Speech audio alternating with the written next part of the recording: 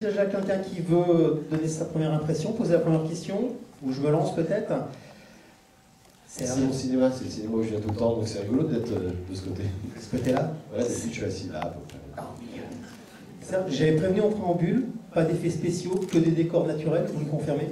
Euh, Oui, oui, enfin, oui, je vous confirme, tout ce que vous avez vu dans le film euh, est vrai, a été fait en vrai, la tempête est une vraie tempête, on a attendu le jour. Euh, la chute dans une crevasse, ça se passe dans une vraie crevasse. On avait juste mis une petite euh, plaque de polystyrène pour qu'il y ait quelque chose qui se casse. Euh, tout, est vrai, toutes les, scènes, les riders ont, tout fait en vrai, les skaters ont tout fait en vrai. Et l'avalanche, c'est en fait, on skie dans les pentes, et puis on envoie de la neige avec, le, avec les skis, ça s'appelle du sluff, qui dégouline, et après on grossit un peu en effets spéciaux. Et sinon, oui, tout est vrai, à part certaines altitudes. Quand on dit qu'on est au sommet d'Everest, on n'est pas tout à fait au sommet d'Everest, mais on est une équipe et des acteurs à 4005 ou 4007, c'est à peu près comme d'emmener un alpiniste chevronné à 8000, 8002. Donc si vous voulez, on ne triche pas beaucoup. quoi. Alors, euh, Vincent, Kev, justement, Oui, c'est vrai, c'est Ah, c'est vous qui skiez euh, Euh, Non, mais c'est vrai que moi, en Inde, euh, quand on était en Inde, on était à 4500, 5000, là, et c'est vrai que c'était c'était- physiquement, c'était- J'avais l'impression d'être euh, au bout du monde, quoi, déjà, donc au bout de moi-même, mais euh, non, c'était bien, c'était super. le Première question. Oui, c'est c'est un- c'est un impressionnant. témoignage. euh, Ces impressions à chaud qui nous ont fait du bien. Juste en haut, à droite, pour vous. Bonjour. Bonjour. Euh, bravo pour le film, il est magnifique. Ah, merci. J'avais euh, une petite question justement pour le fait qu'il n'y ait pas du tout d'effets spéciaux, que vous soyez vraiment euh, monté. Euh, quelle est la préparation physique qu'il y, y a en amont par rapport à tout ça? Est-ce que ça vous a demandé vraiment beaucoup d'efforts et, euh, et combien de temps? Laisser les acteurs répondre. Ah moi j'ai quand euh, Serge m'a fait lire le scénario que j'ai rencontré, je me suis dit il faut que je me prépare physiquement, il m'a dit ça sert à rien. En altitude, tu sais, à un moment donné l'altitude ça a des effets sur le, sur le corps humain, tu pourras pas lutter, mais je me suis préparé comme un dingue. Et puis euh, effectivement 5000 il n'y avait plus personne. j'étais sous oxygène entre les prises et puis voilà, merci, au revoir. Mais, bon j'avais besoin de faire cette préparation parce que je n'imaginais pas ne pas le faire. Il y a le ski hors piste, je n'avais jamais skié hors piste, j'avais jamais skié sur des, dans des endroits entre les crevasses à, à 3500 mètres, euh, en pleine tempête. euh. donc euh, voilà, j'allais un peu faire du, du ski avec lui et puis Stéphane Dan. Stéphane Dan, c'est celui qui a inspiré mon personnage. Et avec qui j'ai on essaie de suivre et puis euh, voilà, mettre mal. Et moi, euh, bonsoir. Euh, moi, je- j'ai j'ai fait une euh, préparation physique, oui, parce que euh, j'avais jamais fait vraiment de snowboard ma vie. Euh, T'as vu que j'ai fait pas mal de progrès quand même. Et, euh, donc, j'ai appris à faire du snowboard en fait pendant un mois avant le tournage, avec euh, de très bons profs.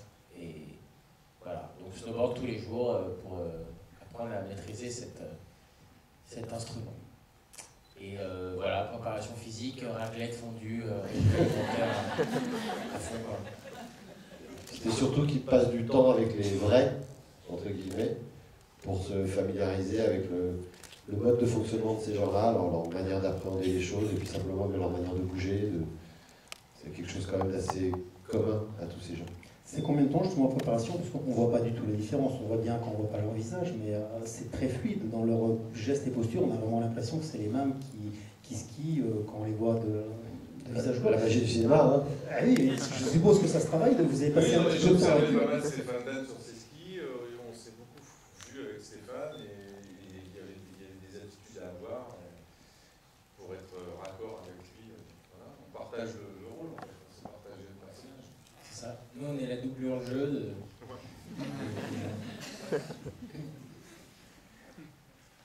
vous. Bonsoir. Bonsoir. Euh, euh, je Bonsoir. tiens d'abord- Bonsoir.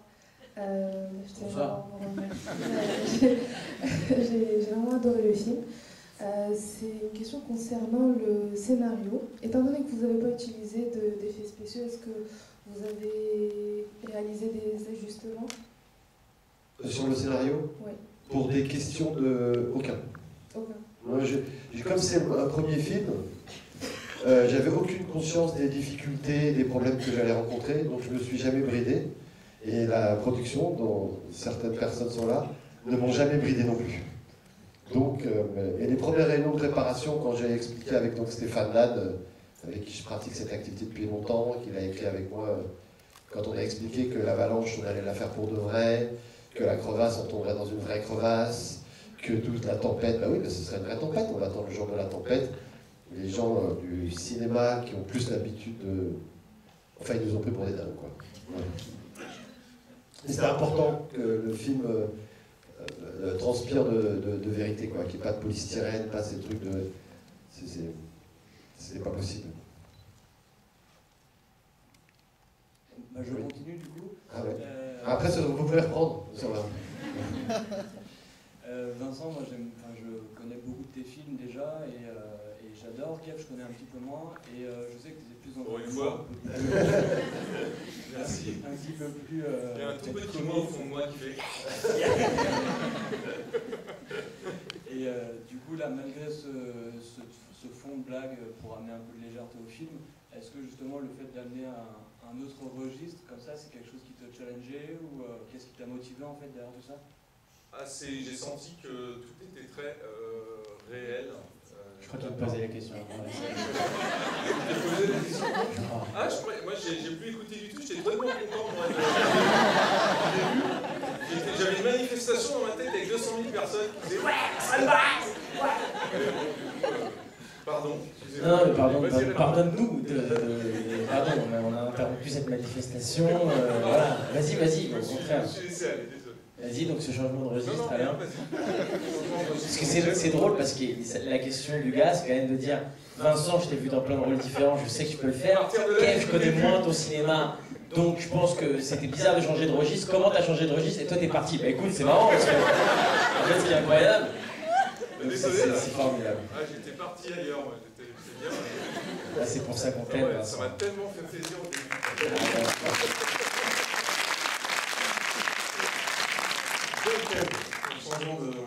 Donc, euh, de ce qui est euh, registre, on y revient. Euh, non, écoute, euh, moi j'ai pas l'impression d'être euh, dans un changement de registre, j'ai l'impression d'évoluer. J'ai fait peu de films jusqu'à maintenant. C'est euh, seulement le sixième ou septième film où j'ai un premier rôle. Donc évidemment, euh, tout est relatif, c'est-à-dire que ça peut paraître beaucoup, mais ça fait pas très longtemps que je fais du cinéma et je- j'explore petit à petit ce monde-là et j'essaye de raconter des histoires de manière différente. J'adore faire de la comédie, c'est le cinéma de prédilection qu'on a ici en France. En tout cas, c'est le cinéma de prédilection populaire. C'est ça qui, que les gens vont voir en masse en général. Et moi, j'adore aller voir des comédies avec mes potes, avec mes amis, avec ma famille. Donc, j'adore faire des comédies. Mais parfois, comme par exemple dans ce genre d'histoire, j'ai aussi envie de faire confiance à un metteur en scène, typiquement Serge, qui, euh, qui à plusieurs moments dans le film pensait que rajouter des petites blagounettes ou de la petite comédie comme moi j'adore faire et j'assumerai toujours d'en faire, pouvait un peu casser cette émotion et cette intensité qu'on a dans le film. Et surtout ce rapport presque solennel, presque religieux que ces riders ont avec la montagne, qu'on sent, je, trouve, dans le film, et que nous on a senti très fort quand on est allé travailler avec eux là-bas à Chamonix. Et donc j'avais pas envie, euh, sous prétexte du- fait que je suis humoriste aussi à côté et que j'aime bien faire des blagues sur les plateaux de télé, systématiquement faire des blagues pour raconter cette histoire. Quand j'ai lu le scénario, j'ai été très touché et j'ai pas euh, ressenti le besoin de me dire il faut que ça soit euh, plus drôle, il faut absolument que je mette des petites blagues partout. Après, je suis arrivé sur le tournage de manière assez instinctive, j'ai rajouté des petites vannes et Serge, à plusieurs moments, il est venu me voir, il m'a dit je te jure, il n'y a pas besoin, il n'y a, vraiment pas besoin. Les gens, non, mais les gens vont aimer ce personnage sans qu'il ait besoin de faire des blagues sans qu'il ait besoin euh, d'être drôle tout le temps. Il y a une arche dans le personnage qui est hyper intéressante déjà. C'est un mec qui arrive, qui est tout fou, qui devient champion, qui quitte son maître pendant trois ans, qui va le retrouver pour réaliser le plus grand rêve de sa vie.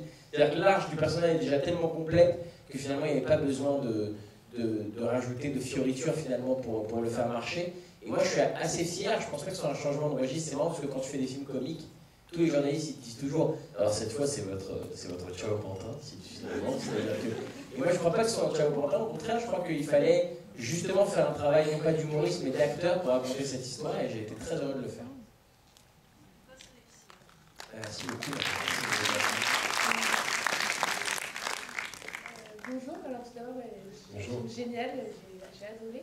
Et J'avais une petite question, euh, quand vous dites que vous avez rencontré les vrais, justement, euh, les vrais riders, je veux savoir comment ils vous ont accueilli pour cette proposition de film, euh, comment vous les avez abordés, qu'est-ce qu'ils vous ont dit, des conseils, vous- euh, aux acteurs ou Tout, le monde ouais. Ben, En fait, moi, euh, Stéphane donc, avec qui j'ai écrit le film, euh, qui, euh, bon, maintenant il, est, il, a, il a mon âge, une vingtaine d'années, il a, doublé James Bond. Ça a été le meilleur skieur du monde.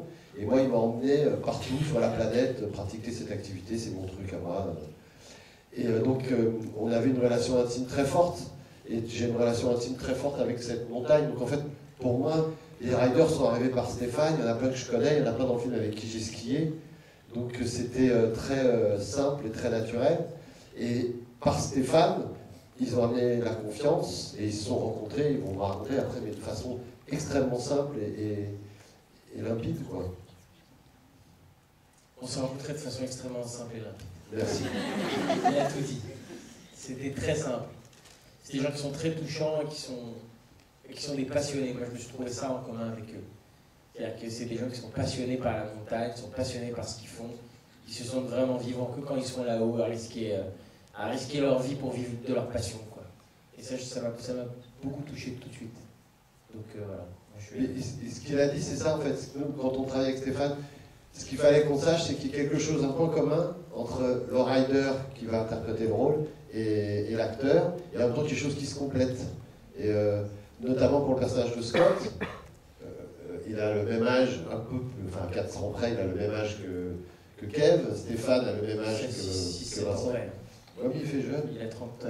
Ouais, il a 32, ouais, attends, c'est encore. Stéphane a le même âge que moi Euh, Ouais, ouais, à 2 ans 73, près. ouais, c'est ça. parce que sa fille, elle a dit un truc quand elle a vu le film, elle a dit il te joue jeune. Ouais, il est super joli. il est super joli. Ça fait mal, ça. lui. Et, euh, et c'était marrant, par exemple, quand on a choisi Doute, Jonathan Charlet qui joue, qui, qui ride le personnage de, de Kev, il a une manière de rider, c'est très félin ce qu'il fait. Moi, on trouve, c'est pas forcément lisible pour tout le monde, mais instinctivement on sent, il y a un suspense, on sait jamais vraiment ce qu'il va faire. Il n'est pas là toujours à aller chercher le gros son, il, alterne les choses, et c'est quelque chose qui correspondait au personnage et qui complétait complètement le travail de. C'était- C'est quand même deux faces artistiques des personnages. Je suis très- je suis très. Hein? Je suis. Non, ça c'était sa partie du travail à lui. Oui, bon- bonsoir. Bonsoir. Alors tout d'abord, je voulais vous remercier pour le film. C'est un très beau film et Merci je trouvais ça vraiment magnifique. Merci. Euh, avant de venir, déjà, je pensais que c'était un film de Michel Hazanavicius. Moi, ça a été une surprise. Et finalement, je suis très très content de vous voir parce que je suis un, des, un très très grand fan de Delphine Arrivant Zéro. D'accord. Et donc, du coup, bah, je suis vraiment content de vous voir. Moi, ma question, elle est par rapport à tous les plans aériens qu'on peut voir dans le film. Et je voulais savoir si ça, avait été, ça aurait été possible de le faire, euh, s'il n'y a pas eu toutes ces technologies, notamment les drones, tout ça. euh. Le jour, il y a un gars qui était dans la salle et qui a dit pour la position, il a commencé en disant Oui, euh, ah oui, vraiment, j'ai apprécié, euh, j'apprécie votre travail depuis longtemps et je sentais qu'il pensait que c'était mon frère. Et puis il a dit Alors là, celui-là, il est vraiment bien, tu vois. Mais je lui ai pas dit que j'étais pas mon frère. Je rentre à la maison, je dis euh, Ouais, non, le C'est vrai que je me rappelle de ce gars, t'as rien dit. C'est vrai que t'as rien dit. C'est vrai, qu'il y a un Il gars qui a a dit une euh, fois, mon frère, il se fait félici- féliciter pour des trucs d'acteurs qu'il n'a pas fait non plus. hein. Ça marche pas. qui se ressemblent énormément. Et le gars, c'est vrai que le gars lui a dit J'ai vu tous vos films. Oui. Et lui, il a dit Merci. C'est c'est marrant. Bref, et euh, c'était en province, hein, je l'aurais pas fait ici. Mais. euh, Oh non, C'est quoi ça, c'est un rire qui nous appartient qu'à nous, les Parisiens. Celui-là, le oh, oh, oh, oh. Oh, on peut pas rire de ces pauvres gens. Non, il y a quelques années, on ne pouvait pas faire ce film. En tout cas, pas comme ça. C'était pas possible. Euh, les moyens techniques ont énormément évolué, tant de filmage que de post-production, de comment tu retravailles ton image derrière. Par exemple, il n'y a pas de trucage, mais il y a quand même des petits effets. Quand euh, un rider, par exemple, la scène d'ouverture, c'est la face sud des camps de Joras, il l'a fait deux fois, Jonathan Charlet. Évidemment, sur certains plans, quand il repasse, il y a une trace de la- du premier passage. Donc tu, euh, tu effaces la trace. Et tout ça, c'est fait d'une manière maintenant très simple, euh, beaucoup moins cher qu'il y a quelques années. Les hélicos, c'est très maniable. Bon, les drones en montagne, on croyait, mais ça n'a pas marché. On a des caméras beaucoup plus légères. Quand il fait très froid, par exemple, on avait trois caméras, elles sont tombées toutes les trois en panne en même temps. Et c'est très bien fait. On n'a pas eu Apple comme ça, on a pu les réparer toutes les trois en même temps. Mais je pense pas qu'on faisait techniquement ça il y a une dizaine d'années. Et d'ailleurs, si je peux me permettre, Serge, si Je vous me permets, euh, on a eu beaucoup de problèmes techniques sur ce tournage. et c'est d'ailleurs ça qui a participé au fun de ce tournage, hein, n'est-ce pas? Et, donc beaucoup de problèmes de, de technique, de caméra, de lieux, enfin pas mal de choses à gérer. Et ça, c'est géré par quelqu'un qui s'appelle un directeur de production de cinéma. Et il y a notre directeur de production sur ce film qui est là dans la salle ce soir. Et oui, monsieur Philippe Gauthier, on peut l'applaudir très très fort. Bravo Philippe.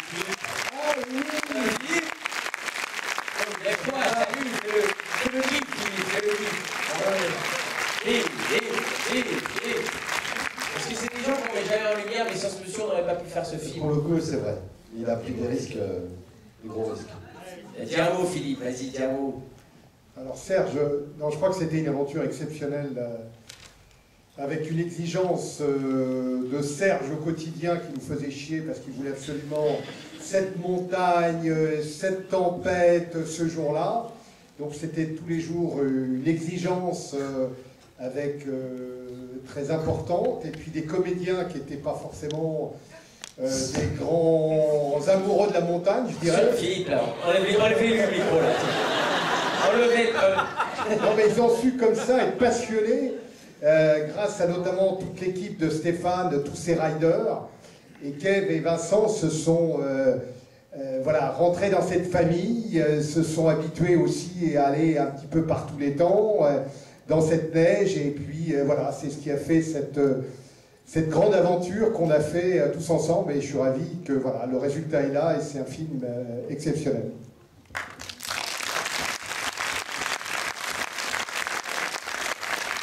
J'ai obligé de mettre Philippe Gauthier dans la lumière ce soir. C'est un personnage que j'adore. Il, s'est résumé à lui tout seul ce soir. Vous avez vu, il a dit Je veux pas parler. Et une fois qu'il a eu le micro, il a fait un discours présidentiel. Écoutez Moi j'ai une question. C'est quoi votre souvenir de, neige et de montagne? Versant italien, versant français euh, du Mont Blanc, le Népal, euh, Katmandou C'est très simple, c'est le Mont Blanc, le toit du Mont Blanc.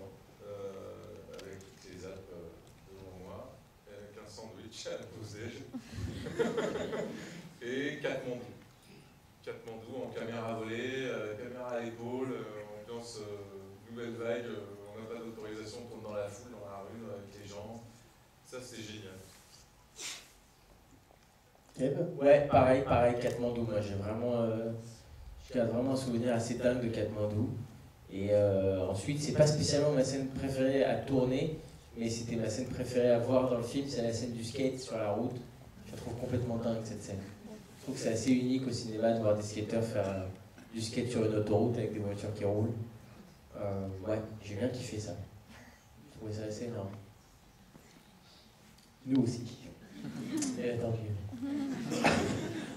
On va rentrer dans les dernières interventions. Qui souhaitent encore euh, tout en bas Merci.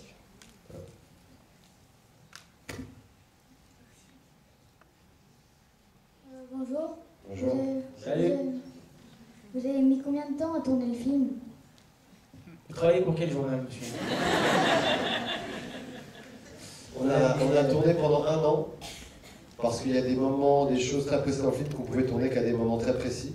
Mais l'essentiel du tournage a duré à peu près 3 mois et demi, 4 mois, du mois de février au mois de, à tout début juin.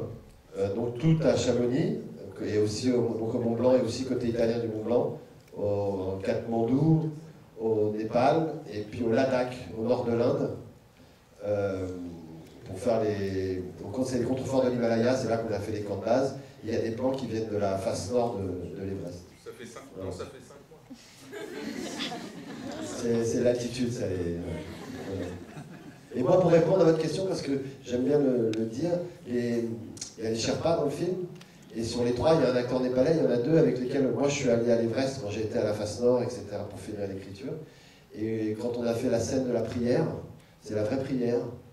Et la scène des au revoir et la chanson, ces moments-là, c'est des moments très intimes qu'ils nous ont donnés. Et moi, c'était très. Euh, je suis content qu'il ait fait, je suis content que ce soit dans le film, je suis content de le ramener ici, comme je serais content de le ramener le film là-bas.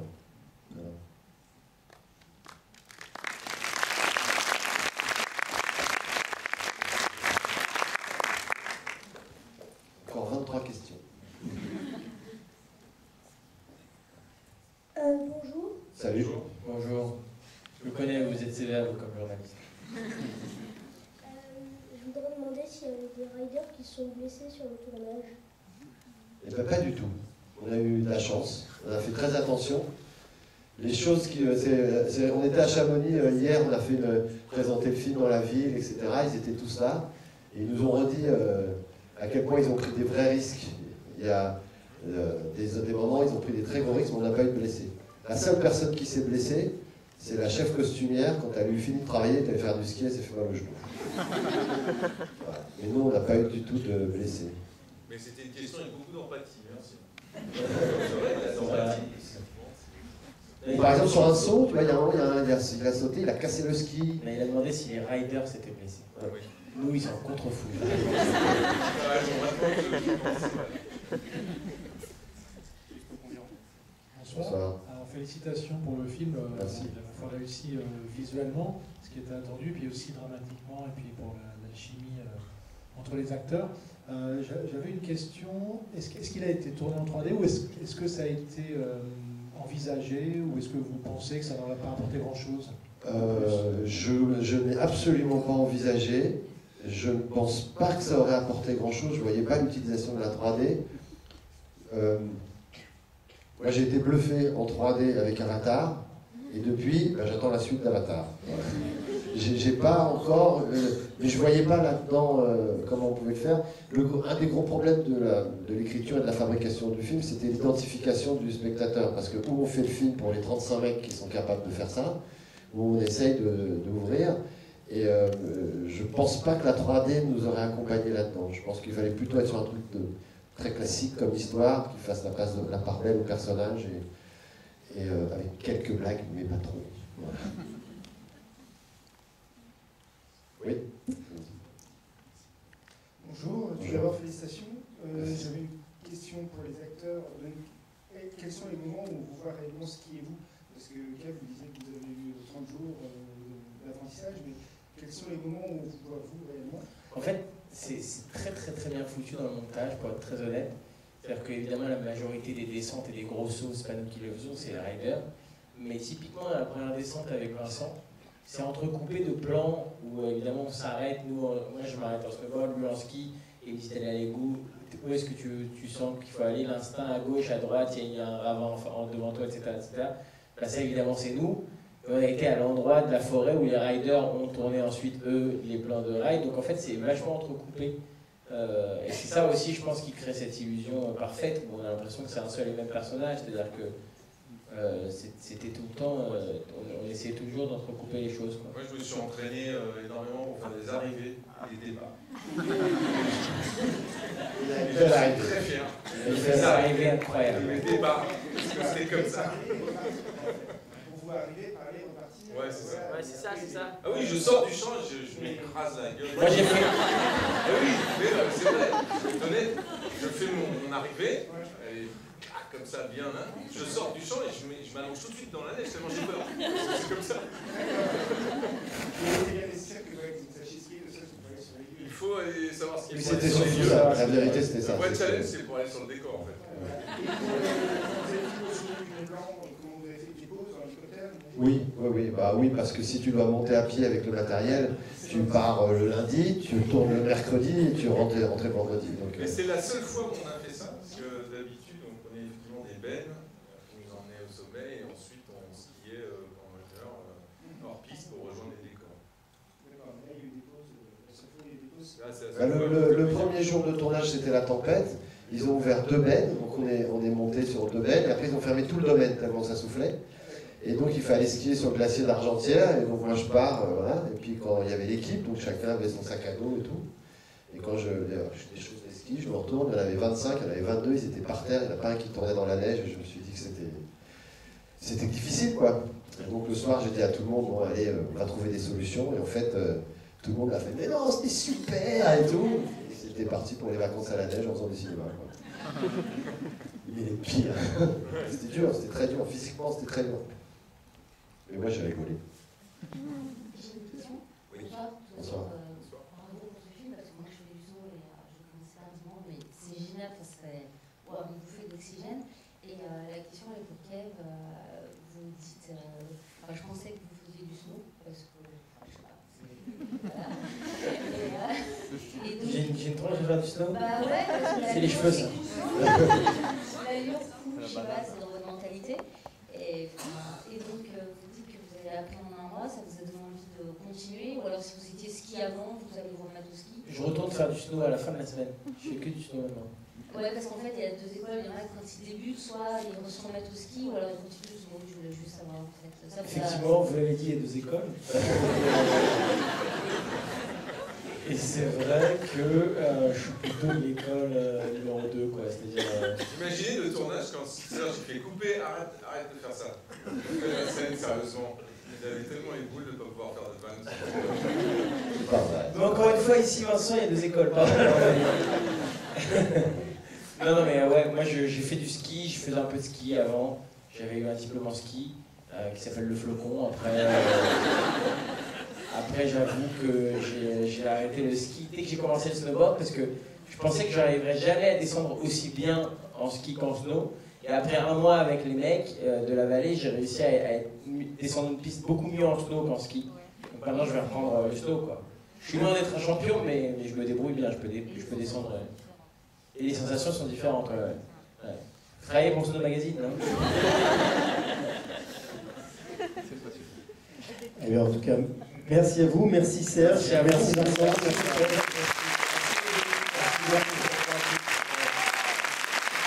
Le film sort euh, après-demain. Après-demain, ouais. Le film sort après-demain. Et euh, c'est la seule rencontre euh, avec le Grand Rex, et encore c'était une présentation qu'on fait à Paris. Et euh, c'est important pour nous de venir ce soir. La pression monte, le film sort après-demain, donc vraiment si ça vous plaît, n'hésitez pas à en parler. C'est un- une période cinématographique qui est assez Chargée. dense. Ouais, c'est dense. hein, je crois dire. C'est-à-dire qu'il y a beaucoup, beaucoup de films qui sortent, pas mal de petits films étrangers, comme Star Wars. Euh, donc euh, évidemment, on compte sur vous. Euh, si vous avez aimé le film, bah, soutenez-le, parlez-en. Et euh, merci infiniment d'être venu ce soir. Merci, Merci beaucoup. Merci à vous.